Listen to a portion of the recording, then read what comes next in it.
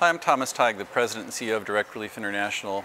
Today is October 25th, and we are in the midst of a response to the widely reported cholera outbreak in Haiti. Today, Direct Relief has authorized the expenditure of $250,000 in cash and is sending a 20-ton uh, emergency air shipment of materials that have been requested by two partners in particular working in the St. Marc's area, Partners in Health and Hospital Albert Schweitzer. So what's been requested is a range of pretty basic things like IV solutions, basic antibiotics, gloves, and things to, um, to treat the patients who have become sick.